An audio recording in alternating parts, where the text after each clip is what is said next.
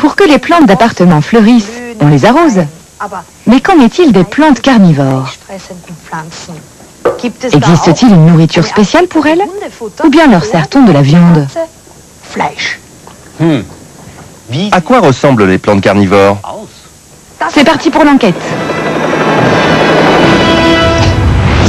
S'agit-il d'une plante carnivore? Et celle-là là-haut? Et celle-ci? Non. Mais celle-là, oui. Ce sont des plantes carnivores. Elles sont capables de capturer des petits animaux et de les digérer. Cette plante carnivore est un Drosera ou Rossolis. On la trouve également dans notre pays. Les insectes se désaltèrent en buvant les gouttes de rosée accrochées aux plantes. Regardez un peu les gouttes de ce Drosera. Elles sont irrésistibles. En réalité, il s'agit d'une substance qui colle très fort. Si un insecte se pose dessus, il reste englué. La feuille se replie alors sur elle-même et digère la proie. Pourquoi se nourrissent-elles ainsi Eh bien, les plantes ont besoin d'azote pour vivre. La plupart des plantes extraient l'azote du sol. Certaines plantes carnivores poussent dans les marais. Or, les sols marécageux renferment peu d'azote. En capturant des insectes, elles ingurgitent la ration d'azote dont elles ont besoin pour vivre.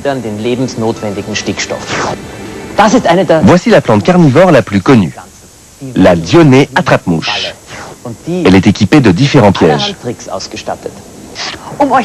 Pour vous dévoiler ces pièges, je prends la taille d'une mouche.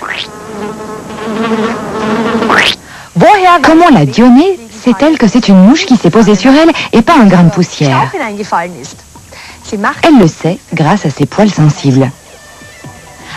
Un grain de poussière ne touche qu'un poil. Il ne se passe rien. Pour que le piège se referme, il faut que deux poils soient touchés l'un après l'autre.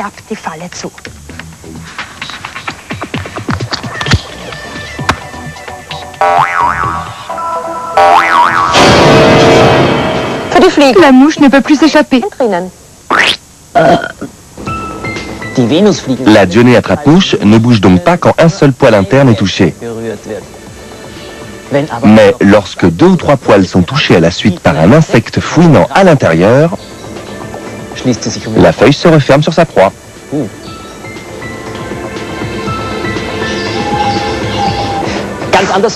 Les saracénies procèdent autrement pour capturer une proie.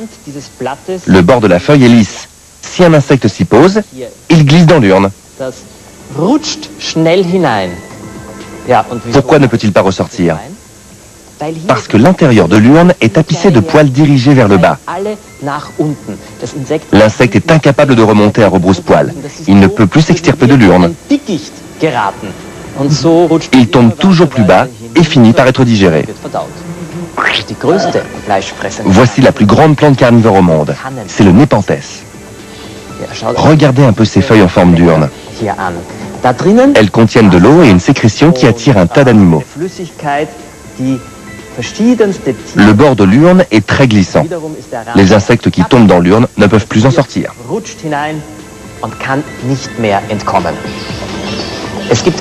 Certains Nepenthes sont si grands que leurs urnes peuvent contenir trois quarts de litre d'eau. Les plus grandes espèces sont capables de capturer et de digérer des grenouilles et des petits rongeurs. Mais pas de panique. Inutile d'afficher une pancarte signalant « Attention, plantes qui mordent ».